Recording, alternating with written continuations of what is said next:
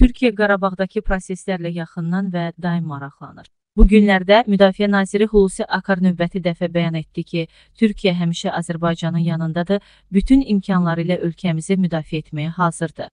Hesab edirəm ki, sentyabrın 2-də Füzulidəki beynəlxalq hava limanının açılmasından sonra Türkiyənin bu proseslərdə hansı şəkildə iştirak etdiyini görəcəyik.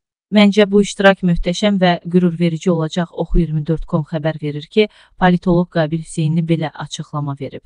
Qafangorus yolunun ölkəmizdən keçən hissəsinin bağlanması haqqında məlumatlara münasibət bildirən politoloq qeyd edib ki, baş verənlərə adekvat olaraq yolu bağlayıb. Azərbaycan bununla da Xankəndinə nəqliyyat axınının sürətini azaldı.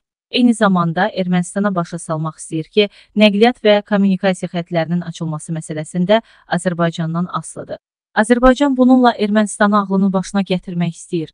Bununla son günlərdə Ermənistanın Zəngəzur dəhlizinin açılması ilə bağlı sərgilədiyi tərsliyin qarşısını almaq niyyətindədir. Əgər bu baş verməsə, Azərbaycan Laçın dəhlizi üzərində nəzarətini bərpa etmək məsələsinə baxa bilər. Azərbaycan bu addımları atırsa, demək ki, nəyəsə araqlanır. Baxın, sentyabrın 2-də Füzulidə beynəlxalq hava limanı işə düşəcək. Hesab edirəm ki, bundan sonra Azərbaycanın müttəfiqlərinin hərbi tranzit səviyyəsi daha yüksək mərhələyə qalxacaq.